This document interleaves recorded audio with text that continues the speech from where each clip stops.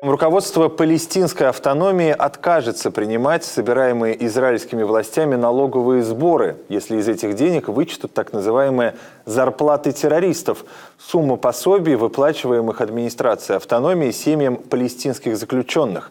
Об этом палестинские власти уведомили Израиль. Рамала грозит обратиться в международные суды, если правительство Израиля урежет выплаты. Напомню, летом в Израиле был принят закон, в соответствии с которым Министерство обороны должно предоставлять Минфину данные об общих объемах зарплат террористов, с тем, чтобы эти суммы можно было вычесть из денежных переводов. Автономия. Окончательное решение об урезании выплат оставлено представлено за оборонно-политическим кабинетом министров, как ожидается, оно будет принято уже в ближайшие дни. У этого, впрочем, немало противников. Они считают, что сокращение выплат приведет к хаосу в палестинской автономии и к ухудшению ситуации. Обсудим все за и против. В прямом эфире к нам присоединяется в недавнем прошлом наш коллега, а ныне кандидат в Кнессет от партии «Наш дом Израиля» Евгений Сова. Евгений, приветствую. Приветствую, Тихон. Ждем также, что к нам присоединится журналист Максим Рейдер. Если Максим на э, связи с московской студией RTVI, это я спрашиваю у а, моих коллег из аппаратной. Нет, ждем, э, что э, Максим к нам присоединится. Давайте сперва а, послушаем Евгения Саву. Евгений, твоя позиция по этому вопросу. Нужно ли отказываться от этих выплат, урезать их? Или же а, исходя из того, что это приведет к реакции руководства автономии и вероятному или возможному ухудшению ситуации, это делать не стоит.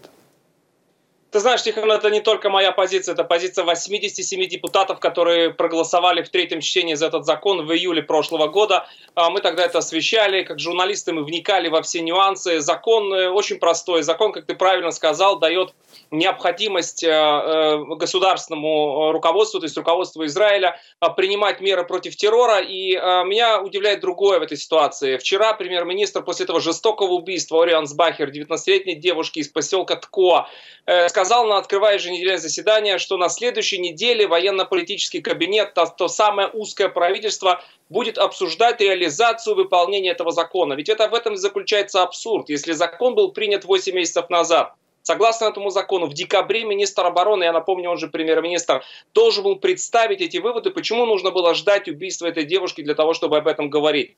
Поэтому это не только моя позиция, это позиция любого здравомыслящего человека. И все разговоры о том, что это приведет к хаосу, приведет к э, резкому снижению экономического благосостояния в палестинской автономии, а, не соответствуют действительности по нескольким причинам. Во-первых, э, э, автором закона выступает Лазар Штерн, генерал запаса так. от оппозиционной угу. партии Шатит. Эта партия не имеет отношения к партии НДИ, в которой я баллотируюсь. Еще один автор этого закона, Ави Диктор от партии Ликут, это бывший глава контрразведки службы Шабак. И только благодаря тому, что в июле этого, этого прошлого года этот законопроект получил безоговорочную поддержку тогдашнего министра обороны Либермана, он и прошел во втором и в третьем чтениях. Теперь возникает вопрос, для чего проводить закон, если правительство, кабинет не способны его реализовать? Сейчас об этом вот поговорим. Сейчас об этом поговорим, об этом, об этом, об этом вопросе поговорим. Мне хотелось бы услышать э, позицию э, Максима Рейдера, журналиста, который присоединяется к нам.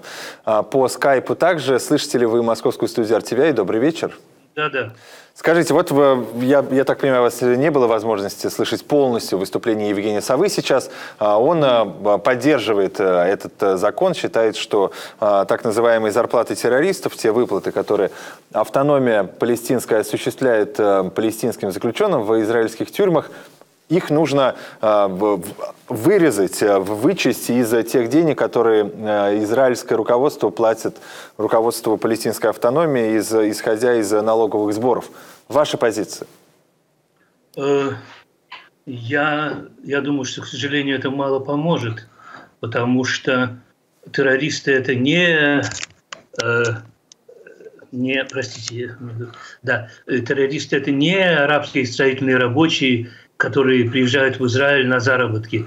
Это люди, э, как, как бы нам это не было неприятно, э, у них есть свои идеи, и от того, что им не будут платить деньги, э, немного изменится, к сожалению. Uh-huh. Еще Голда Мейер говорила, что арабскую гордость нельзя купить за деньги, так же, как и любого другого народа, еврейского и русского, какого угодно. Uh-huh. И, конечно, очень неприятно чувствовать себя вот в Израиле в ходу слово «фраер», быть фраером – это ужасно. Вот на наши же, можно сказать, деньги нас и убивают. Но это, это просто маленькая часть проблемы. Это, я не думаю, что это что-то изменит. Я с большим уважением... Ну, говоря, смысла нет. Саве, он масса всего знает и глубоко понимает. Но я не понимаю, почему это может что-то изменить э, по сути. Ну, вот, кстати, у меня, у меня тот же самый, у меня тот же самый вопрос, э, Евгений, я слушаю, что ты говорил, а, задавался вопросом. Вот, предположим, Министерство обороны говорит, вот такая вот сумма будет э, палестинским руководством выделена террористам, да. которые находятся в заключении. Давайте мы эту сумму вычтем из тех выплат, да. которые мы осуществляем. Что помешает Значит, палестинскому руководству из тех средств, которые поступят от Израиля, все равно выплатить эти самые зарплаты террористам?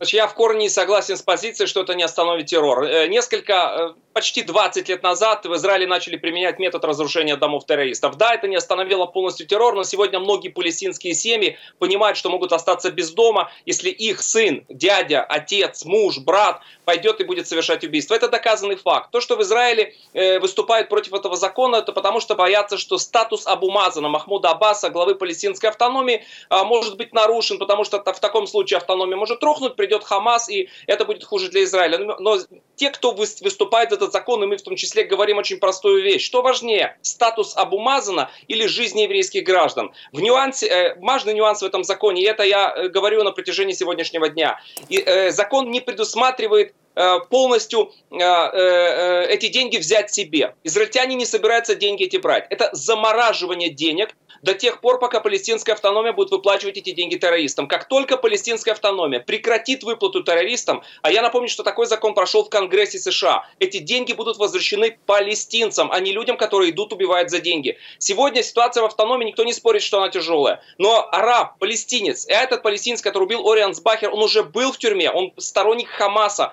он он сидит сегодня в израильском суде, улыбается, показывает Ви, и, и израильтяне спрашивают, а, собственно, почему мы должны молчать на это? Вот если бы сегодня палестинская автономия сказала бы, мы прекратим выплачивать семье убийцы Орианс Бахер деньги, то следующий потенциальный убийца, под, убийца подумал бы дважды, прежде чем взять в руки нож и пойти убивать евреев. Мы не говорим, что это остановит полностью террор, но это должно остановить Должно минимизировать, убийцу, да, да, да, позиция понятна, Евгений. А, Максим, да, как вам подобный аргумент? Не, мне, мне, мне трудно с тобой согласиться, потому что э, э, вот этот человек из Хеврона им двигала ненависть. Э, конечно, это все, это все значительно более глубокий вопрос, а не такой частный. Э, повторяю, было бы очень здорово, если вот перестать им платить, и сразу они бы, там, скажем, перестали евреев ненавидеть. Э, это давняя ненависть. У нее есть и абсурдные основания, есть вполне конкретные – и альтернатива войне, которая идет между нами, нашими народами, и неважно, это военные действия или террор или еще что-то, это мир. И, конечно, мы не должны молчать, мы должны требовать от нашего правительства достижения мира, а не разговоров и не таких вот банок, э, к, к мертв, э, которые ставят мертвому. Да, это может, может быть уменьшит террор. Но, кроме того, как ты справедливо сказал, это может подорвать статус Абу Мазана. Какой бы он ни был этот Абу Мазан, он сотрудничает это, Максим, с... это не я сказал, это говорят противники закона. Я не сказал, что это подорвет нет, статус. Нет, я, сказал, что нет, нам важнее жизнь. Нет, нет, есть, есть такая позиция. Есть такая позиция, она звучит. Хорошо, да. Есть такая позиция. Я, я процитировал тебя, не более того, Женя. Э, это не моя позиция. Мы, мы поняли, мы поняли. Хорошо, хорошо. Это моя позиция, а не твоя. Забираю. Э, так вот, э, я все-таки думаю, и я не один, что э, для Израиля лучше, когда там какой-никакой Абу Мазан, который не очень-то хочет, но и не очень-то может. Но все-таки он отличается, как мне кажется, в лучшую сторону от бандитов Хамаса, которые ничего кроме убивать и разрушать не умеют и, и, и не имеют никаких других планов. Так что я думаю, что толку от этого закона может не быть, а, а, а вред возможен. А Именно вот падение Абумазана и обострение ситуации. Мы не можем все время воевать с палестинцами. Сколько можно? Иначе говоря, это толка мало, вреда много. Женя.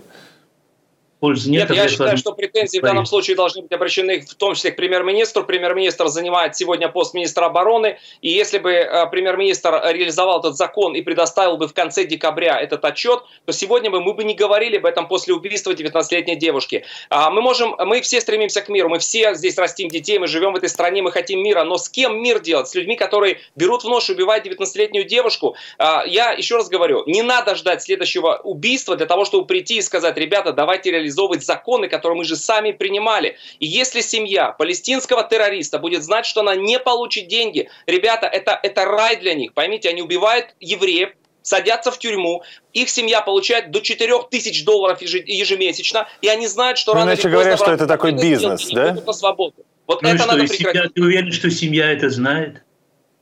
Конечно, семья знает, семья поддерживает это. Извини, Максим, семья поддерживает. Более того, вся Хамула это поддерживает. Мы знаем случаи, когда семьи э, делают, если погибает э, палестинец, они делают палатку, траурную палатку, где называют шахидом. Мы знаем, что если семья знает, братья скрывают этого человека, они, они покрывают, вся его деревня покрывает. О чем мы говорим? Есть палестинцы, которые хотят мира, я не сказал, что все палестинцы террористы. Но если мы сами принимаем закон и сами не способны его реализовать, для чего тогда нам принимать законы?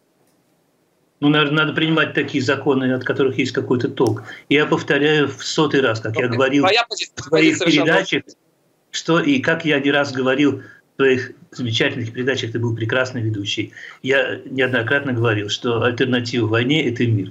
Это все мертвому банке, нужно стремиться к миру, и не только на словах. И есть, были же еще и в общем, не отменены попытки провести эти законы, смертная казнь для террористов. Человек идет на э, самоуби... теракт самоубийства, и он очень боится, что его могут казнить. Ну, Нет, он потому что он знает, говорю, что, что я не говорю, что это закон... Это другой, это другой, это другой вопрос, и об этом мы в эфире RTVI тоже много говорили. Я благодарю вас обоих. Мне кажется, а, была возможность нам услышать и позицию Евгения а, Савы, кандидата в Кнессет от партии «Наш дом Израиля», журналиста Максима Рейдера. Я признателен вам за эти позиции. Очевидно, к этому разговору мы вернемся еще не раз в эфире телеканала RTVI. Буду признателен и рад, если каждый из вас в этом разговоре примет еще раз участие. Спасибо.